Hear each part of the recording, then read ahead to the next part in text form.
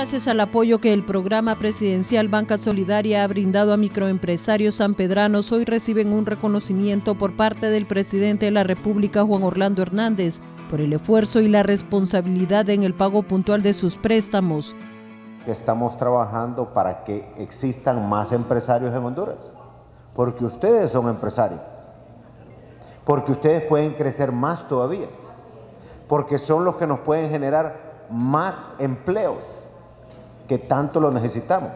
Estamos trabajando para que los pequeños, que ya pasaron uno, dos, tres ciclos, ahora con tan, buen, tan buena historia de ser buenos pagadores cada semana, ahora pasan a graduarse y ya son parte del sistema financiero nacional.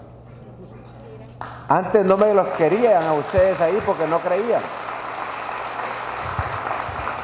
¿Qué es lo que me gusta de esto? Que ustedes han demostrado que son buenos pagadores y el que paga puntualmente ahora se gradúa y ahora va a recibir las puertas abiertas. Entonces, ¿qué estamos haciendo ustedes y nosotros?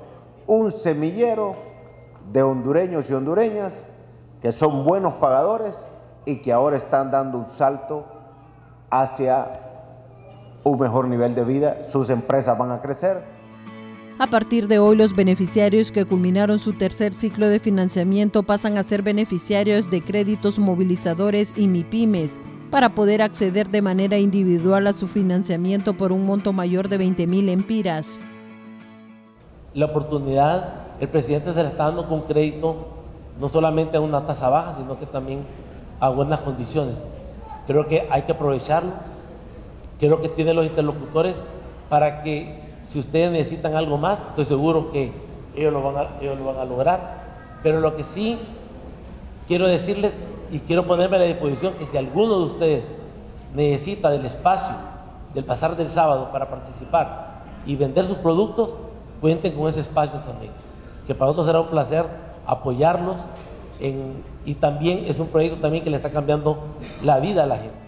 Los microempresarios de esta zona del país se encuentran muy alegres por esta gran oportunidad y confianza que se les ha dado con estos préstamos para salir adelante con su familia.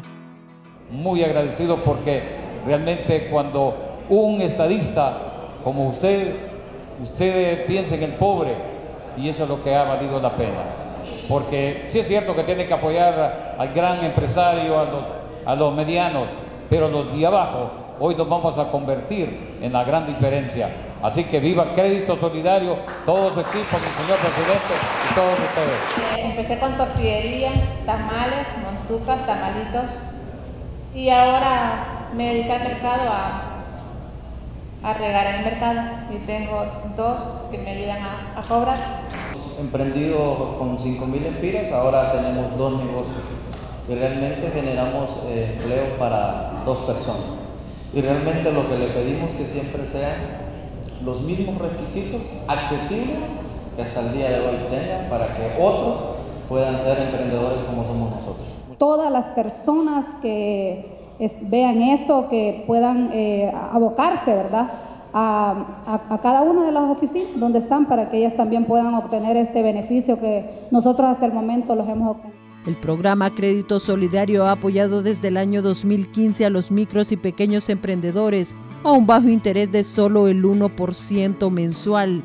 Esto con el fin de generar más empleos y un mejor desarrollo para el país. Para Radio y Televisión Nacional de Honduras les informó Yerlin García.